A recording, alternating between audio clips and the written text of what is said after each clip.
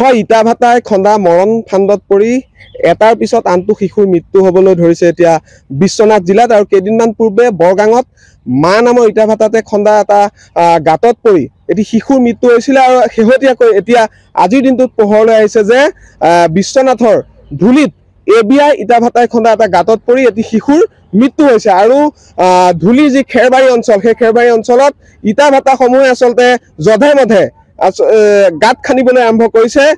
ম্যাদী মাটিয়ে হওক বা একচনীয়া মাটিয়ে হওক সেই সময়ত প্ৰকাণ্ড প্ৰকাণ্ড গাঁত খান্দিছে চৰকাৰী নীতি নিয়ম উলংঘা কৰিছে আৰু যাক লৈ এতিয়া স্থানীয় ৰাইজ এতিয়া ইটা ভাটাসমূহৰ বিৰুদ্ধে গৰজি উঠিছে। আৰু এই মুহূৰ্তত মই খেৰবাৰীত উপস্থিত আছো মোৰ সহযোগীৰ দৃশ্য দেখুৱাব আচলতে ইটা ভাটাই খন্দা যিসমূহ মৰণ ফান্দ সেই মৰণ ফান্দৰ ফলত এতিয়া এটাৰ পিছত আনটো শিশুৰ মৃত্যু হৈছে। লগতে ক'ব লাগিব যে ইটা ভাটাই যি প্ৰদূষণ সৃষ্টি হৈছে সেই প্ৰদূষণৰ ফলত স্থানীয় লোকসকল যথেষ্ট অসুবিধাত পৰিছে এই মুহূৰ্তত স্থানীয় লোক আছে। মই আপোনাৰ কাষলৈ আহিছো।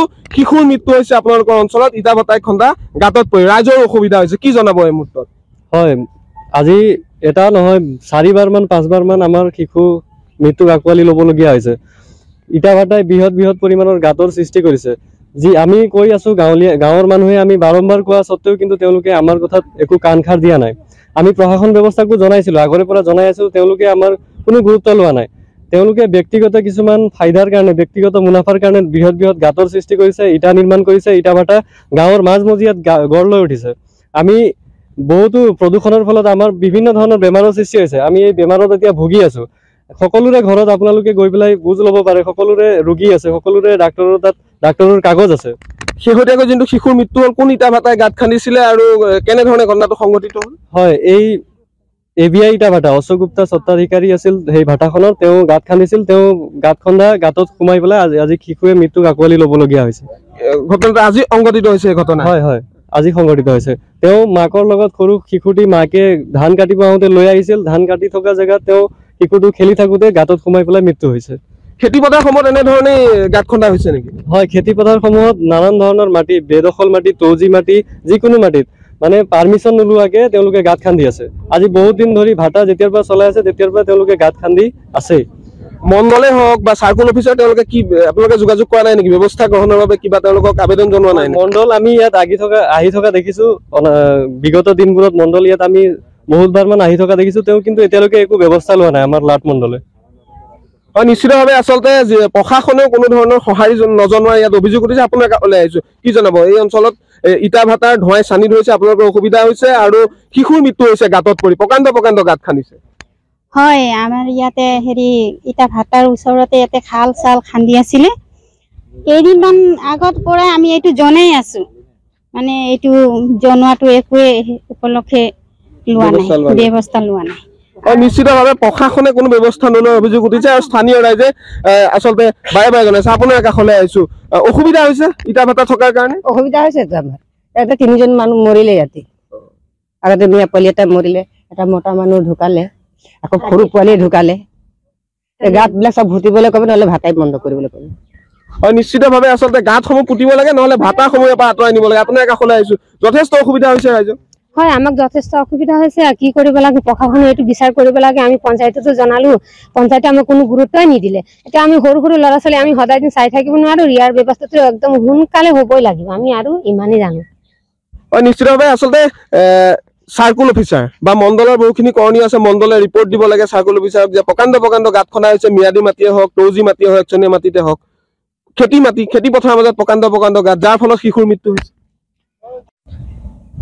হয় আমি যোৱাকালিৰ ঘটনাটো চাই পেলাই আমি বিৰাট দুখিত আৰু এনেকৈ ঘটনা এই অঞ্চলত বাৰম্বাৰ হৈ আছে।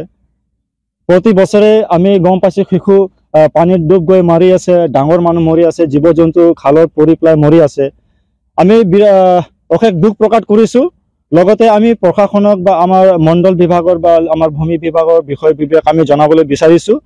আহ, আহ্বান জনাইছোঁ যিহেতু আমাৰ এইটো এগ্ৰিকালচাৰ লেণ্ড হয়, খেতি পথাৰৰ মাটি হয়, এই খেতি পথাৰৰ মাটি কিভাৱে ইণ্ডাষ্ট্ৰিয়েল যি মালিক পক্ষই কিভাৱে মানুহৰ পৰা লৈ আছে আৰু ইহঁতে যে প্ৰকাণ্ড প্ৰকাণ্ড ইটা ভাটাৰ ফেক্টৰী বনাইছে আৰু ৰাইজৰ ক্ষতি হৈ আছে ইয়াত।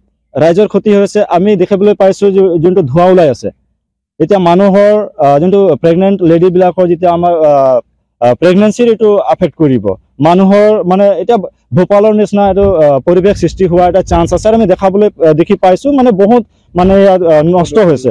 ৰাস্তা পদূলি নষ্ট হৈ আছে মানুহৰ ঘৰ বাৰী নষ্ট হৈ আছে গোটেইটো মানে আমি একেবাৰে দুখিত আৰু প্ৰশাসনক আমি জনাব বিচাৰিছো যে আপোনালোকে উচিত তদন্ত লওক আৰু যিহেতু ভাটা পক্ষক আমি তীব্ৰ ভাষাৰে গৰিহণা জনাই আছো কাৰণ এইখন খেতি পথাৰত আমি যেতিয়া আমি গম পাওঁ যে পূজাৰ আগতে ইহঁতে ভাটা আৰম্ভ কৰে খেতিটো নষ্ট হৈছে আমি এইবাৰ ধানেই নাপাওঁ। ৰাইজে ইমান কষ্ট কৰি পেলাই ধান লগাইছে কিন্তু ধান অকল হ'ব কিন্তু ধান নাই।